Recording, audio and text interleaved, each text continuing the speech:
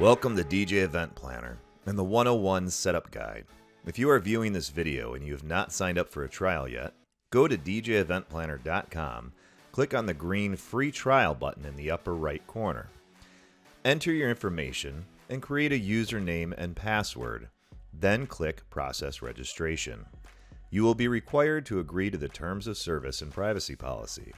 After reading through, enter your first and last name in the boxes and check the box indicating that you have read and agree, and then click Confirm. You are now in your DJ Event Planner trial and can begin setting up your account. If you would prefer to read the text version of this guide, click Support Options in the left menu and either click on Getting Started Guide in the menu or click Read Guide next to the DJ Event Planner Getting Started 101 Guide. The first step in setting up your account is to verify your email address. Click Account in the left menu, then click on the blue Send Verification Email button. This will send a verification email to the address that we entered when we signed up for the trial. Go to your email inbox and look for the email titled Company Email Verification from no reply at djfinder.com. If you do not see it in your inbox, be sure to check your spam or junk folder. Click on the link in the email to verify your email address. You will receive a confirmation that your email has been verified. Click the green Continue button to be taken to the logon page. Enter the username and password that you created when creating your account. Should you ever forget your password, click the Forgot Password link and enter your email address to receive your logon info. Once logged in, the next step is to complete our company profile. Click Account in the left menu. Next to Company Details, click the blue Edit button. Enter your company and contact name, mailing address, and contact information, and be sure to select your time zone. The information entered in these fields will be used in merge tags for documents, emails, and website tools. Once finished, click Save. Now it is time to begin setting up the rest of your portal. First, let's get our packages and add-ons inputted. Click Setup in the left menu, then Packages. To add a package, click on Add Package. Note that when adding a package to an event, you can only select one package per event. Additional items, such as uplighting, photo booth, ceremony music, etc., can be added to an event via add-ons. To add our add-ons, click Setup, then Add-ons, and Add Add-on. More detailed information about adding packages and add-ons to your portal can be found in our video Quickly Add Packages and Add-ons on our YouTube page. Next, we'll customize and configure our website tools and integrate them into our website. Click on Website Tools in the left menu. Click Styling Options at the top. Enter the URL to your company logo from your website or other third-party image hosting service. Modify any other settings you wish to match your business color scheme and click Save Settings. Now, we will want to configure the website tools that we want to utilize in our website. Select a tool, change the settings, and then when ready to put on your website, click the green Get Code button. Select the code you would like to use and paste it into your website editor. More information about configuring and integrating your website tools can be found in our video titled Configure and Integrate Website Tools on our YouTube page. Before we begin to add events into our portal, we will want to configure our event statuses to keep track of where clients are in our workflow. To edit your event statuses, click Setup in the left menu, then Application and Event Status. Here is a default list of event statuses you can add, remove, or change to meet your needs. When it comes to creating a workflow, you will want to think about each step your client takes from first contact to post event follow up and assign that step a status. On the right, you can select which statuses are considered a booked event, a lost sale, or a pending event. Now we can begin adding events into our system. There are a couple ways to add an event either clicking the Add Event icon in the top blue bar, clicking Add Event on a calendar date, or by adding an event from a request for information form or instant quote request. For more detailed information, watch our How to Quickly Add an Event video on our YouTube page. Now we will want to create our planning forms.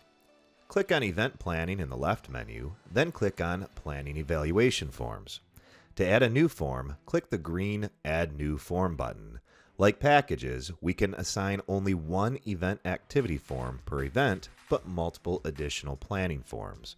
You can also find shared forms from other users by clicking the Form Sharing button at the top. Click on the Preview button to show the form. Once you have found a form that you would like to use, click the green Import button, and that form will now be saved to your account where you can edit it and make it your own. For more detailed information, watch our video titled Planning Forms on our YouTube page. Next, we will need to create document templates for our contracts, invoices, receipts, etc. To create our templates, click on Setup in the left menu, Documents, then Add Template to create one from scratch. Just like planning forms, there are shared document templates. Click the Document Sharing button at the top you will find documents created by DJ Event Planner as well as templates shared by other users. Click the Preview button to see what the template looks like. Once you have found one you like, click the green Import and Save. This will save that template to your account and you can now edit to meet your needs. If you already have a contract that you would like to use, DJ Event Planner offers a document conversion service. More information about document conversions can be found by clicking the Help FAQs in the upper right. Then click View Details next to Document Conversions. More information about document templates can be found in the Documents video on our YouTube page. Now that you have a contract in your account, you'll need to configure the e-signature settings for that template. Select your document either by clicking on it or selecting Actions, then Edit Full Screen. Click on the e-signature tab at the top of the editor window. Here you can configure your e-signature settings such as expiration date, counter signature options, and what happens once a contract is e-signed. More information about e-signatures can be found in our e-signatures video on YouTube. The next step is to set up our email templates. Click Setup in the left menu, then Emails. There are some default templates already inside of our DJEP. You can utilize these templates as is, edit them, or add your own.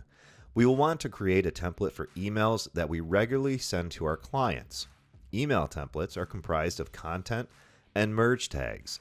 These merge tags will populate with information that we inputted into an event, allowing us to quickly send a personalized email without having to compose a new email each and every time. Further detailed information about email templates can be found in our emails video on our YouTube page.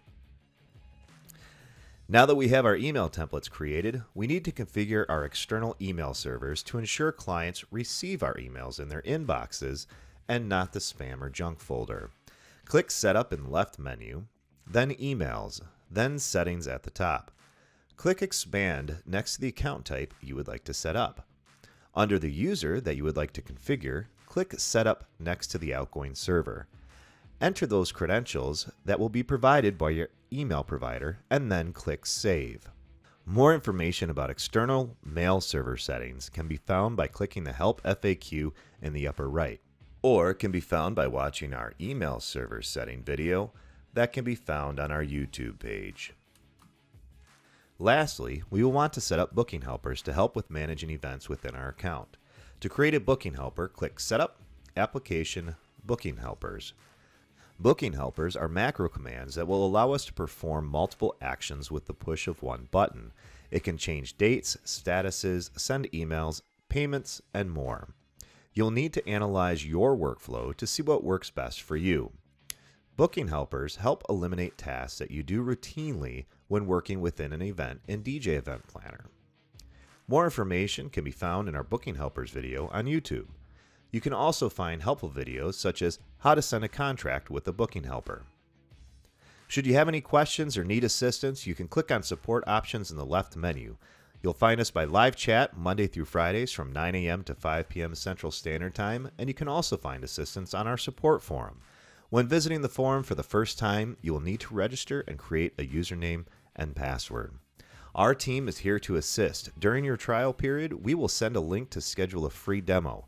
Make sure to take advantage of that demo. It can provide a great resource as well as an opportunity to get any questions answered. Also, make sure to subscribe to our YouTube page to receive updates about new how to videos, change logs, and more. Once again, welcome to DJ Event Planner and happy planning.